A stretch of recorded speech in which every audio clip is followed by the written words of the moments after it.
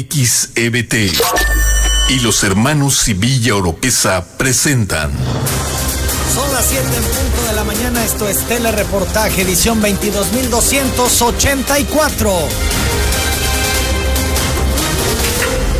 Nos la jugamos con ustedes, le dice el PRI a usuarios que quieran continuar en resistencia civil. Acusa a Dolores Gutiérrez irregularidades en adiós a tu deuda. Tabasco tendrá tarifa 1F todo el año pese el fin del subsidio de verano, insiste gobierno. Sujeto apuñala a su exmujer en la antesala de los juicios orales en Villahermosa. Ejecutan a dos hombres en la ranchería Gregorio Méndez de Comalcalco. La inseguridad en Tabasco sigue siendo el talón de Aquiles, señala a la Coparmex. Una herencia maldita es el problema en el Creset, señala presidencia del Congreso local. Agreden a balazos a la Guardia Nacional en Chiapas. Un elemento resulta herido. Mueren tres militares en enfrentamiento en Guerrero. Formaliza bancada del PRI la petición de auditoría al Poder Legislativo. Lanza PRI nuevo reto a presidenta de la Jucopo para que compruebe que se usaron recursos públicos en su informe. Acusa a Ingrid de Rosas que a Beatriz Viñán le ordenó no subir a tribuna a tratar temas personales. La fiesta de Beatriz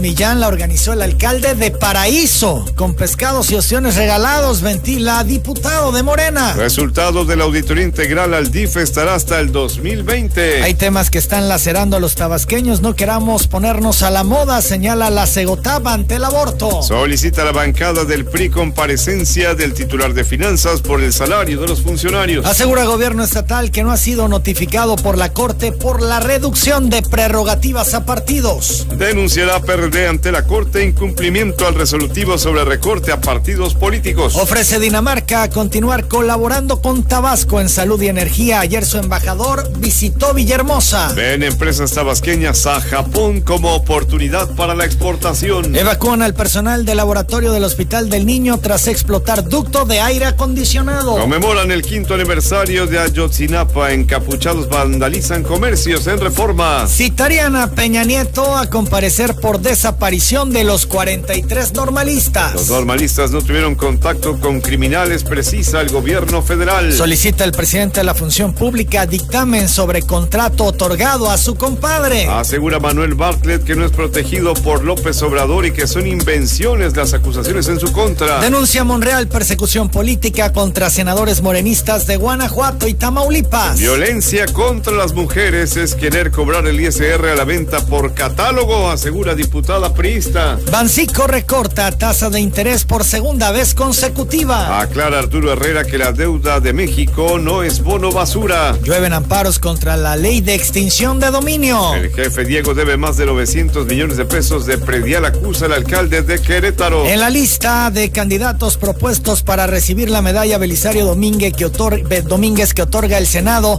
sobresalen el presidente López Obrador, el empresario asesinado Eugenio Garza Sada y el mexicano más rico Carlos Slim. Enrique Graue buscará reelegirse como rector de la UNAM. Condenan en Estados Unidos a 20 años de prisión a exfiscal de Nayarit, Edgar Beitia. Usamos a México para proteger la frontera, afirma Donald Trump. México no le hace la tarea a Estados Unidos, responde la Secretaría de Gobernación. Advierten que este año el Temec no verá la luz.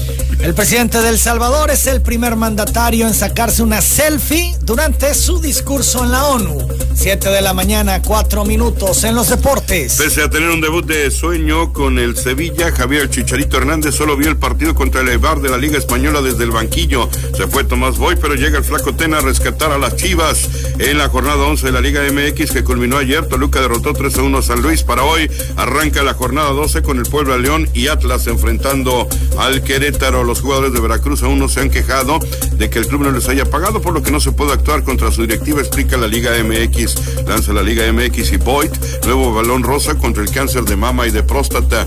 Continúa la Serie Rey, hoy tercer juego en el estadio Cuculcán, Minnesota. Llega a 300 cuadrangulares en una temporada y impone récord. Mientras tanto, ayer Texas derrotó Boston 7 por 5, Pittsburgh 9 a 5 a Chicago. Los Dodgers le ganan 1 por 0 a San Luis y Houston cae ante los Angelinos 4 carreras a 3. Las corredoras embarazadas ganan la batalla los patrocinios. Ahora, ahora podrán tenerlos. El velocista mexicano Fernando Arodi debuta hoy en el Mundial de Atletismo en 400 metros con vallas. Jennifer López y Shakira encabezan el show del medio tiempo en el próximo Super Tazón. Filadelfia arranca lo invicto a Green Bay en la jornada 4 de la NFL y continúa el Injudete recibiendo propuestas para el Premio de la Juventud 2019, como la convocatoria finaliza el 31 de octubre. Telereportaje, el periódico del aire, el primero con las últimas noticias. Buenos días Villahermosa, buenos días Tabasco, buenos días Chiapas, buenos días Veracruz, buenos días Campeche, buenos días Yucatán, buenos días México.